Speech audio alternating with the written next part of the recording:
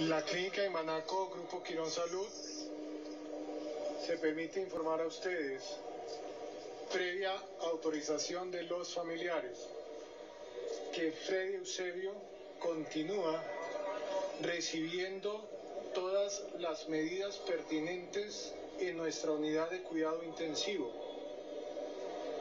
Después de este tipo de intervenciones quirúrgicas, se hace necesario un seguimiento muy estricto, razón por la cual hemos tenido una revisión de la situación con todas las especialidades pertinentes y con todos los fuentes de conocimiento que nos permitan tomar las mejores decisiones.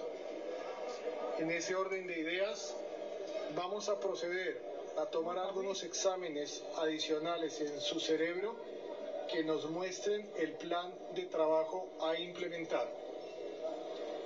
Es fundamental para nosotros pedir a todos que se entienda que la única fuente oficial de lo que realmente está ocurriendo con Fred Eusebio son estos comunicados que desde la clínica estamos emitiendo respetando la confidencialidad y los elementos pertinentes.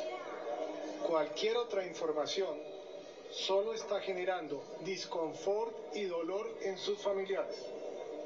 En este orden de ideas, ratificamos entender, por favor, que este será el medio oficial por el que se comunique permanentemente lo que realmente está ocurriendo. Gracias y buenas tardes.